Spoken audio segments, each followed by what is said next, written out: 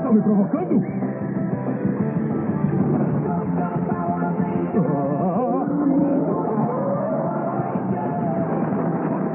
Eu me sinto responsável pelo professor Wilson. Vou buscá-lo. É, vai lá. Tudo bem. Boa sorte.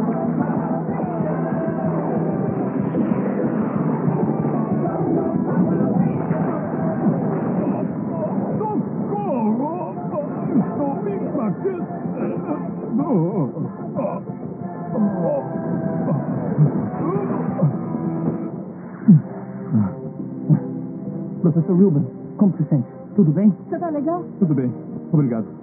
Mas que experiência interessante. Ah, mestrinho, por favor, eu quero tentar de novo. Eu sei que eu vou ser melhor da próxima vez. Conquistar o mundo não é fácil, não é?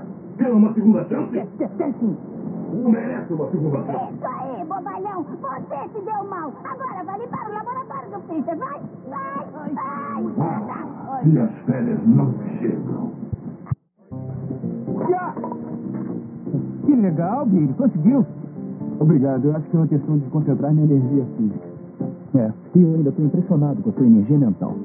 Sabe o que é estranho? Eu pensei que os professores é que tinham a maior moleza e a gente tinha que dizer estudando.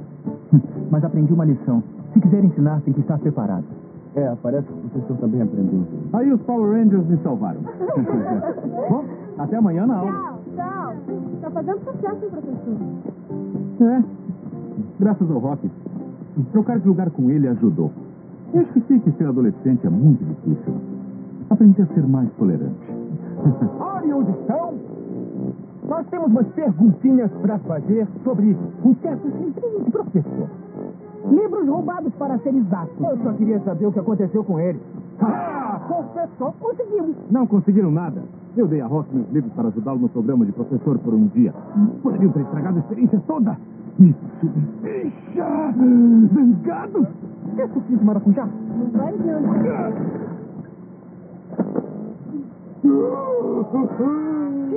Bom, eu acho que aprenderam uma lição.